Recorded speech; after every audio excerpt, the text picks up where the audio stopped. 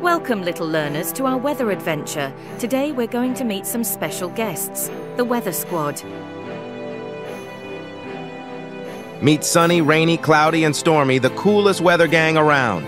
Let's dive in and discover what makes each of them unique and why it's important for us to learn about them. First up, we have Sunny. Cheerful music plays. Sunny is always shining bright and spreading warmth wherever it goes. Hey there, kids. I'm Sunny, your friendly neighbourhood sun. My rays help plants grow big and strong, and they give us energy to play outside. Remember to wear sunscreen and sunglasses when you're out enjoying the sunshine.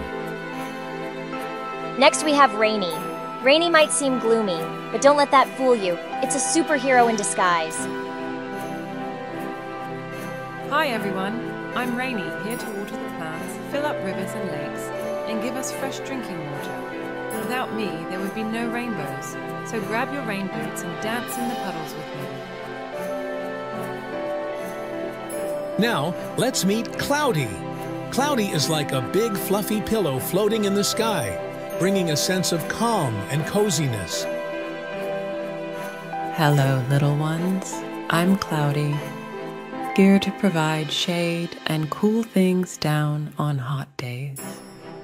I also make beautiful shapes in the sky for you to imagine and dream. So, next time you see me, don't forget to look up and say hello.